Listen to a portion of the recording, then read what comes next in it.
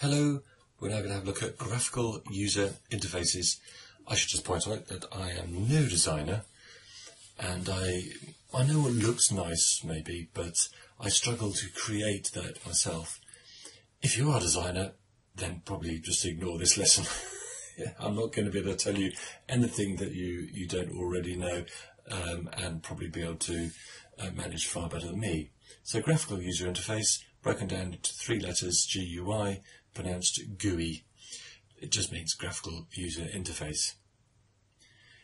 If you are going to be creating any kind of interface, then consistency is probably the most important thing. There's a whole load of principles, but the most important is just keep it simple. It's a conversation, so you want some sort of feedback. So if I've got a close button, make sure that it's always in the same place.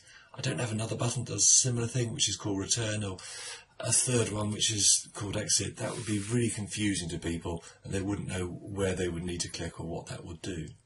Colours. Again, you want to be, uh, you want to keep things simple.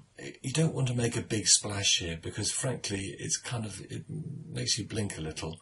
If you need to use colours, um, try and use subdued versions of those colours. If you find that just too insipid, you'd want to create something that's slightly better, maybe just create one colour. But if you can get things to do more than one bit of work, then that's good. So if you can use your colour to give you give the user an idea about where they are from a navigation point of view, so which screen they are, information may be green, um, processing stuff may be red, other stuff may be blue. You're getting a, a, a more of a feedback for people, and they can then work out uh, from a conversational point of view where they are within the system. Fonts two main different types of fonts. Um, there's the serif, and the serifs are these little kind of pointy things. Um, and if you removed the serifs from the font, it would be a sans serif font. And a sans serif font, sans just means without, um, so without the serifs. Generally, for most websites, mm, sans serif looks a bit better, looks, looks a bit cleaner, um, and the, the, the serif ones can look slightly older jargon free. If you've got a lot of text that needs to be there or a lot of things that need and to be described, put them in a way that everyone can understand. If you've got an option from rather than using a load of words, you can use a graphic, then use that graphic.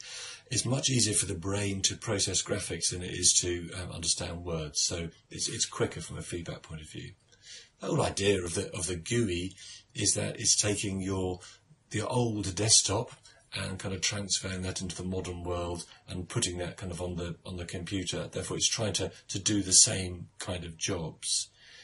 Wasn't always the case in the earlier days. Of course, you had no screen at all. You were purely based on kind of the printouts. You could make these kind of daft pictures using uh, letters, symbols, and numbers. But the first computing stuff that I really got working with was on a command line, which was a digital operating system, or DOS, where you could only just type things out you couldn't have graphics in those days because the computers in those days didn't have a thing called graphics cards.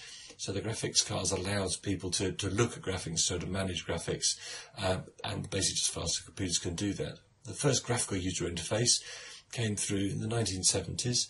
It came from the Xerox PARC, uh, and it was called Alto, and they kind of created the first computer that used all the fundamental things we see in computers these days.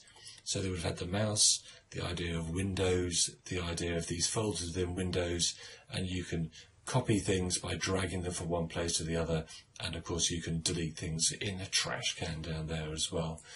The fundamental things we see in the, the GUIs today were all kind of developed back in the 1970s, which seems amazing, doesn't it?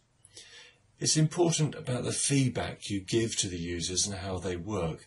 There's a term, term called affordance. If I've got three light bulbs here, maybe it's obvious for the middle switch, but I don't know from these other switches, so this bottom switch here, which light bulb is it going to light? Is it going to be the one on the left or the one on the right?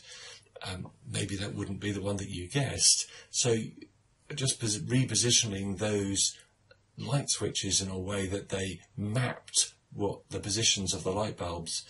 And this name affordance came from a guy called Donald Norman, and it was in a book called The Design of Everyday Things. I would probably say it's not. It was worth a read. It's definitely worth kind of um, seeking out because it gives you a bit of an idea uh, how important design is in everyday everyday things. Okay, we've been looking at graphical user interfaces. Thank you for listening.